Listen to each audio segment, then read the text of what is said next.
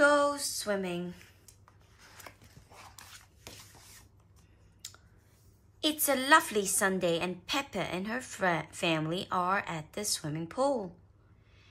Peppa, George, let Daddy put on your armbands, snort Mummy Pig. Today is George's first time at the pool, and he's a bit scared of getting in. Why don't you just put one foot in the water? said Daddy Pig. Maybe George should put try putting both foot in the, at the same time, said Mummy Pig. Splash! Mummy Pig convinced George to jump into the water and he loves it. Hee! shouted George happily.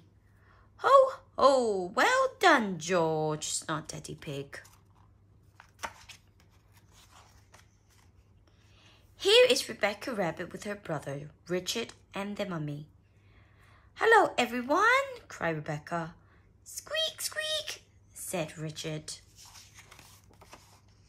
Richard, hold on to the this float, and you can practice kicking your legs, said Mummy Rabbit.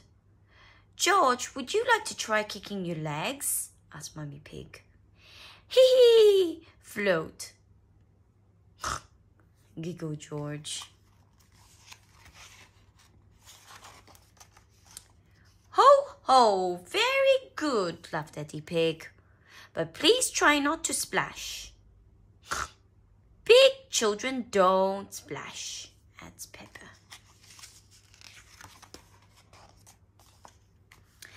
Big children are very good at swimming, snort Peppa. When George and Richard are older, they'll be able to swim like us, won't they?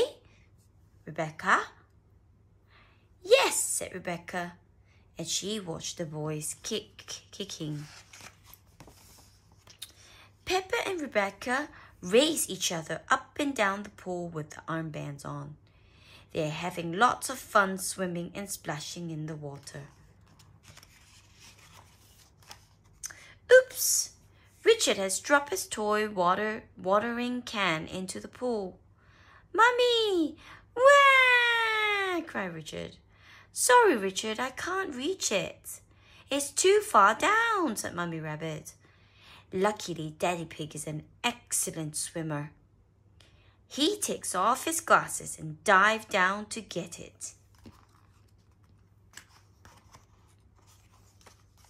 Ho, ho, there you go, snorted Daddy Pig. Squeak, squeak, said Richard. Well done, Daddy, smiled Mummy Pig.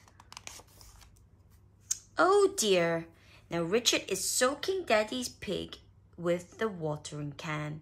What a naughty rabbit. Hee George thinks it's hilarious. Everyone has a wonderful day at the pool.